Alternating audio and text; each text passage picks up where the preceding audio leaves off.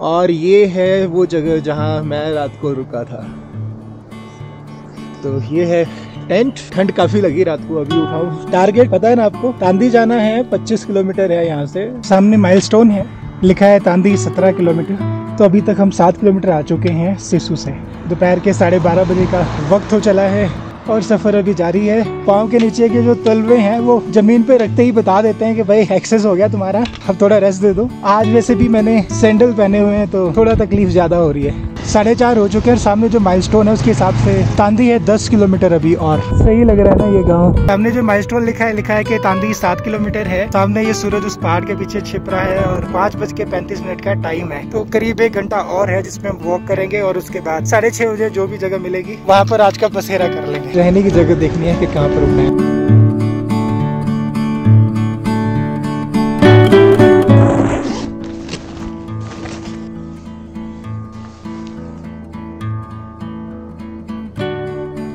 Morning दोस्तों। आज trip का तीसरा दिन। जगह है सिसु। आज हम जाएँगे तांदी तक जो कि यहाँ से 25 किलोमीटर दूर है। और ये है वो जगह जहाँ मैं रात को रुका था।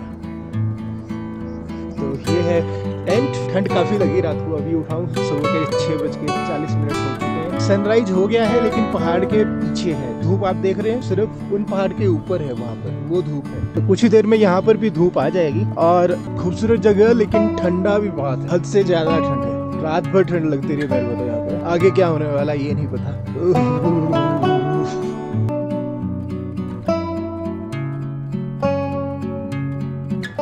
सुबह के सात बज गए दोस्तों, और ये बन रही है हमारे लिए कॉफ़ी। तो जी, आठ बज चुके हैं, अपनी पैकिंग गई है, हो, धूप अच्छी निकल आई है, अब बस जाने की तैयारी है। टारगेट पता है ना आपको? कांदी जाना है 25 किलोमीटर है यहाँ से। तो जी, दोस्तों, पूरे 10 बजे हैं, सिसु से वॉक शुरू कर दिया है।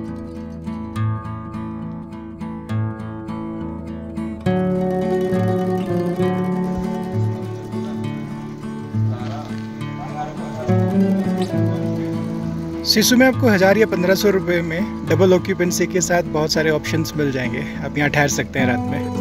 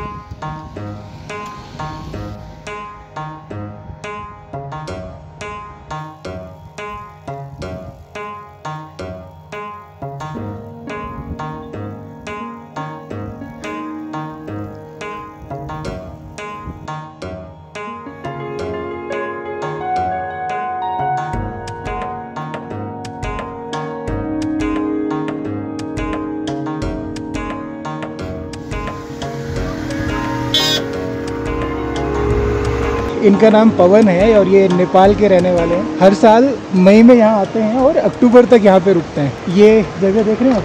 ये पीछे। इस झरने के साथ से ये चल के ऊपर जाएँगे। ऊपर खेत है यहाँ पे। है ना? खेत में यहाँ पे चार ही सब्ज़ी उगती हैं। मटर, गाजर, गोभी और आलू। और छः महीने खेती होती है। तो पिछले दो तीन किलोमीटर से मैं और पवन साथ में, नहीं, मैं और पावन नाम है, पवन नहीं है। पावन और मैं साथ में चल के आ रहे थे। तो काफ़ी सारी बातें हमने की। तो अब ये इनका रास्ता इधर से निकल जाएगा और मैं बढ़ूँगा आगे की तरफ़। ठीक है पवन भाई? अच्छा लगा मिलकर आपसे। खैर ध्यान रखिएगा। कभी किस्मत में रहा तो फिर मुलाकात हो जाएगी ऐसे चलते हुए। हो सकता नेपाल में मिले नेपाल में क्या नाम बताया था जगह का आपने? धाकिनी D H A D I N I D H A D I N G D I N G Dhading. D A D H A D I N G Dhading. वहाँ के ही रहने वाला है। ठीक है जी मिलेंगे फिर। तो सुबह से चल के हम पाँच किलोमीटर यहाँ पहुँचे एक छोटा सा हॉल्ट ले रहे हैं। पाँच किलोमीटर के स्पैन में हमने एक भी ब्रेक नहीं लिया और डेढ़ घंटे से चल रहे हैं। दस बजे स्टार्ट किया था, साढ़े ग्यारह हो चुके हैं। इस रूट की कुछ खास बातें हैं। ऑलमोस्ट प्लेन जैसा लगता है क्लाइंब बहुत ज़्यादा नहीं है, ढलान भी बहुत ज़्यादा नहीं है। तो स्मूथ है तो डे थ्री पे आज हम कहीं ना कहीं ये 25 किलोमीटर का डिस्टेंस इसी तरह के मोर ओवर प्लेन से रास्ते पे करने वाला है। जाना है तांडी। तांडी इंग्लिश में और तांदी यहाँ की लोकल भाषा में या हिंदी में कही आप उसको। तो तांदी जा रहे हैं और अभी 19 किलोमीटर और चल रहा है। थोड़ा सा रिफ्रेशमेंट लेके बढ़ेंगे आगे। सामने माइलस्टोन है। लिखा है तांदी 17 किलोमीटर। तो अभी तक हम सात किलोमीटर आ चुके हैं सिसु से। दोपहर के साढ़े बारह बजे का वक्त हो चला है और सफ़र अभी जारी है। टेरन बदल गया थोड़ा सा। जैसे आप सुलिंग क्रॉस करते हैं तो सुलिंग क्रॉस करने के बाद प्लांटेशन तो है लेकिन हाइट कम हो गई है और सामने जो पहाड़ है वो उन पे स्नो दिखने शुरू हो गई। तो ये खास बात है यहाँ पे। अच्छा लग रहा है। शानदार से एक्सपीरियंस है। सो so, टेक्निकली हम अभी तक ढाई घंटे ही चले हैं और ढाई घंटे में हमने सात किलोमीटर कवर कर लिया है। अच्छा स्पीड अच्छी है। तो सत्रह आ जाना है और? नहीं सर ये यहाँ के नहीं है। यहाँ फल वगैरह नहीं होते। इस तरफ़ से ले की तरफ़ से? ले ले ले लो। चेरी है हाँ एप्रिकॉट सैर फुलम है। फुलम बोलते हैं ना उसको? हाँ जी। पता नहीं क्या रेट वगैरह क्या है इनका? ये तो फिक्स रेट है ना सर तीन सौ है। वो तो पूरा डब्बा है। हाँ डब्बा पूरा। नहीं चाहिए। ये तीस तीस रुपए के हाँ। हाँ। एक तीस वाला दे दो मेरे एक किलोमीटर चलने के बाद हम थोड़ा ब्रेक लेंगे लॉन्ग वाला ब्रेक क्योंकि ये करीब करीब 40 परसेंट कंप्लीट हो जाएगा आज के टारगेट का। नीचे आपको देखना चाहिए। पूरा यहाँ पर खेती होती है, खेत है सबके। नीचे ये प्रभा नदी बह रही है और इस नदी के ऊपर, ये ग्रीन के ऊपर, ये देखो स्नो कवर्ड माउंटेन है। एक्सलेंट व्यू है, मौसम बहुत अच्छा है। धूप की गर्मी है तो हवा की ठंडक भी है। शानदार एक्सपीरियंस दस किलोमीटर का टारगेट पूरा कर लिया। पाँच पाँच किलोमीटर के दो हमने स्ट्रेच लिए यहाँ तक और पंद्रह किलोमीटर अभी और जाना है। तो मतलब हुआ, पाँच पाँच किलोमीटर के ही तीन स्ट्रेच और लेने हैं। टाइम हो चुका है इस वक्त दो बजे का। दस बजे निकले थे, चार घंटे। चार घंटे में दस किलोमीटर हमने कर लिया है।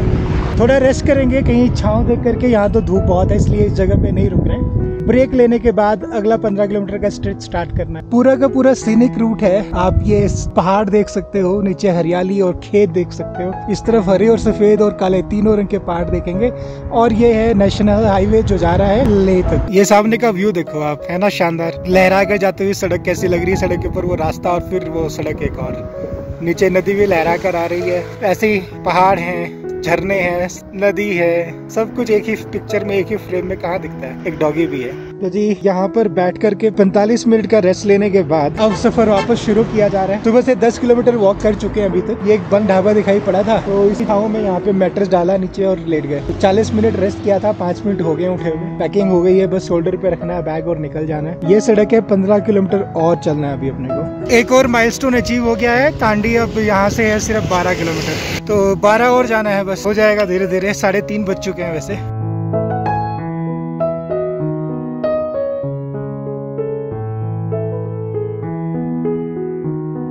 What a beautiful view road turn करते ही ये शानदार नज़ारा दिखा देखिए। है ना शानदार?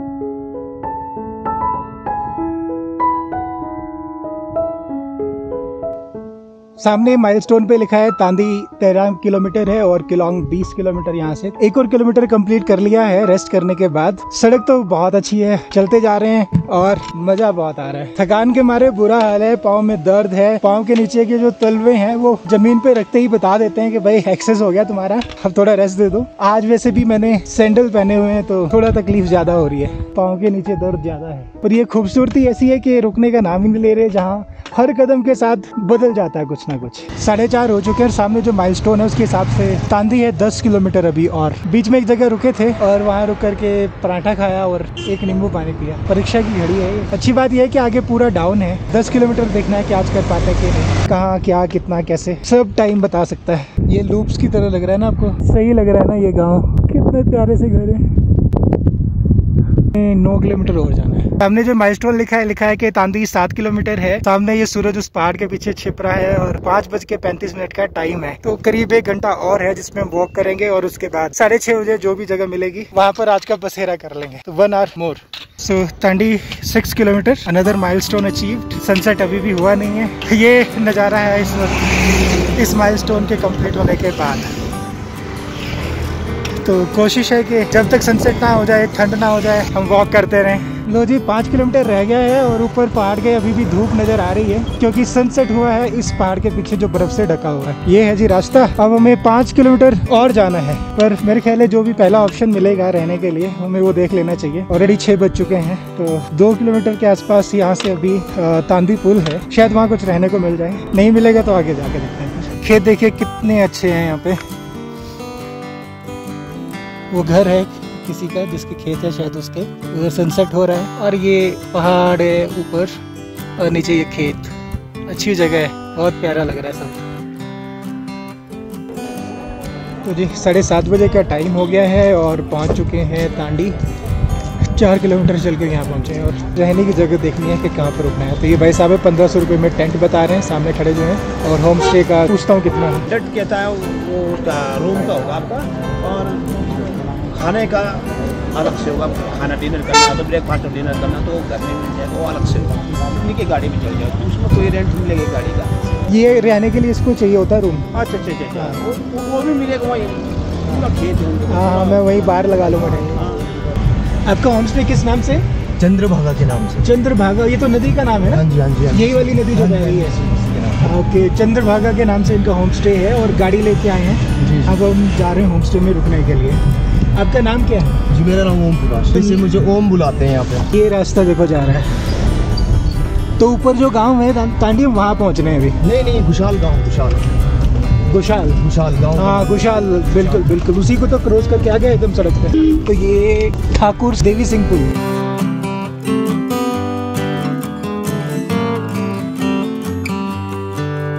तो एक भागा भी है खाली। एक चंद्र भागा एक भागा है। नहीं नहीं। ये चंद्र, वो परे से जो आई, वो भागा तो ये चंद्रा है यहाँ पे नदी। चंद्रा भागा दो नदी के नाम से बना है।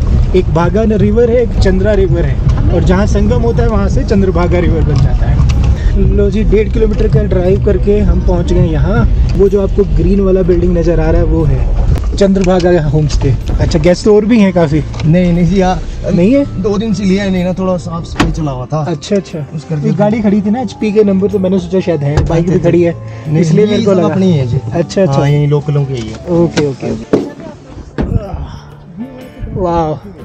देखिए व्यू देखो आप। सही है जी।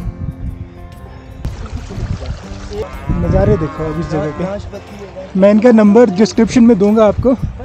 कॉल करके ओम भाई को पहुँच जाना ये अच्छी जगह है। ये अच्छा जी क्या बात है पूरा ट्रेडिशनल लुक है भाई। ये बुखारी बोलते हैं आप इसको? ये बुखारी। तो इसमें आग जलती है पानी वगैरह यहीं गर्म हो जाता है और ये सिटिंग है। जी जी ये सीटिंग के बहुत बढ़िया है जी ये तो।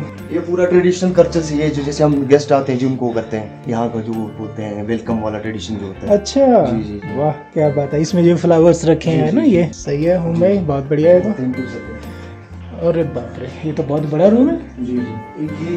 ये साइड तो ये एक बेड इधर है एक दूसरा बेड इधर लगा हुआ है। और ये देखो क्या शाइन कर रहा है। बहुत अच्छा है जी बहुत अच्छा होमस्टे बनाया आपने। अच्छा एक ये वाला रूम है। रूम सारे ही अच्छे हैं और बड़े बड़े रूम बना के रखे हैं आपने। तो जो रूफ है वो भी वुडन वाला है। वॉल पे भी वुडन लगाया आपने। जी जी। सही बात है। मोदी साहब की फ़ोटो भी लगी है।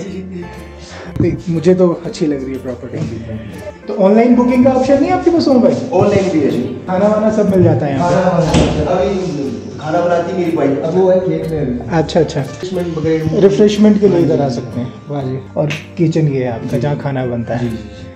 मॉडर्न किचन है पूरा? हाँ, आस्ते अच्छा दुआ हमारी आपका अच्छा चले। धन्यवाद धन्यवाद। तो आप लोग अगर आने का सोच रहे हैं तांडी की तरफ़ कभी रुकने का प्लान बने तो तांडी ब्रिज से आपको गोशाल विलेज आना है और ये डेढ़ किलोमीटर है बस ज़्यादा है नहीं और फिर आप यहाँ पहुँच जाएँगे। तो जेनुइन प्राइस है नंबर आपको मैं या तो स्क्रीन पे दे दूँगा नंबर इनका या फिर मैं आपको वो नंबर दे दूँगा डिस्क्रिप्शन में।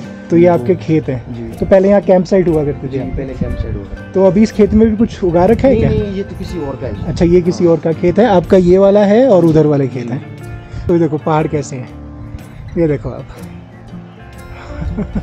इस तरफ़ भी देखो। लुक एट कैसे पहाड़ है? लग गया है हमारा टेंट थोड़ा सा डार्क है। तो आज का वीडियो यहीं पे मुझे लग रहा है एंड कर देना चाहिए। आज हम निकले थे सिसु से और 25 किलोमीटर का वॉक करके पहुँचे थे तांडी। तो यहाँ पर मैंने बाहर लगाया टेंट ये होम स्टे है। मेरे जो को ट्रेवलर है, उन्होंने अंदर रूम में स्टे किया है और मैं तो हमेशा की तरह टेंट में रुका हूँ थोड़ा डार्क है तो बस अब जाके डिनर करना है और उसके बाद सो जाना है। आज की सीरीज़ में इतना ही है। इस सीरीज़ का एक नाम सोचा है मैंने। नाम रहेगा ले लद्दाख बाय वॉक है ना सही? पहले मैं इसका नाम सोचा था, Manali to Leh by walk पर ये बड़ा अच्छा है रिदम में बन रहा है। ले लद्दाख बाय वॉक तो यही नाम रहने वाला सीरीज़ का। आज थर्ड डे पे सोचा है। मिलेंगे जल्दी ही। गुड नाइट दोस्तों। ख्याल रखिए अपना।